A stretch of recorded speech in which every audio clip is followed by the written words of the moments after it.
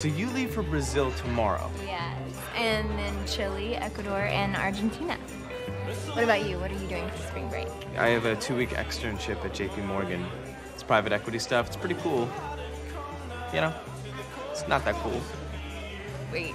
So, on the last spring break of your entire life, you're working? Yeah, why? Aren't we supposed to be starting our lives? Did your mom tell you that? Yeah, my